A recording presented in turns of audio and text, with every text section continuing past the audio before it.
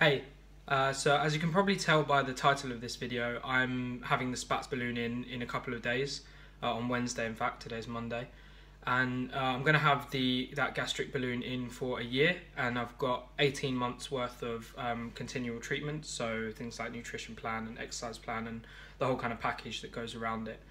Um, and I just decided that I want to document my kind of journey along this process, uh, just because it's I think it's helpful to add another voice out there and another perspective um, for for anybody that wants to maybe get the balloon or is undecided or any of those things. So I'm uh, 24 years old.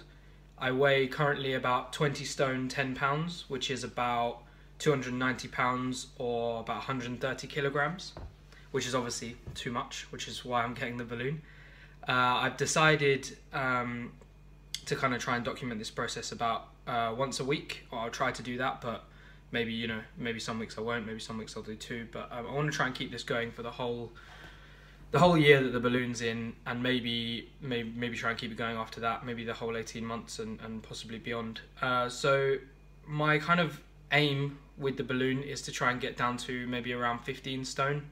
So that would be uh, 200 210 pounds um, you never know, maybe a little bit lower, maybe a little bit higher, but basically I just want to get my weight under control.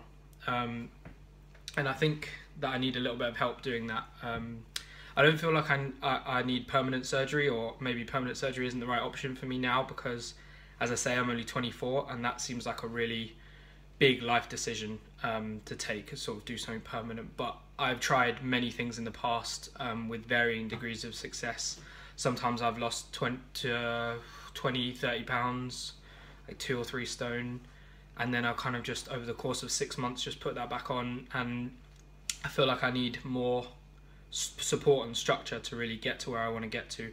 And to not only get there, but to keep it off as well, which is. Um, which is why I chose to go with uh, the provider that I've gone with because they give a whole package around the surgery, not just sort of here's a balloon now, good luck.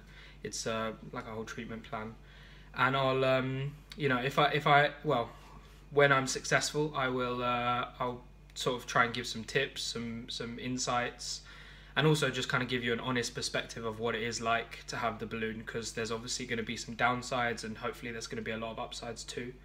So yeah, um, cool. Wish me luck.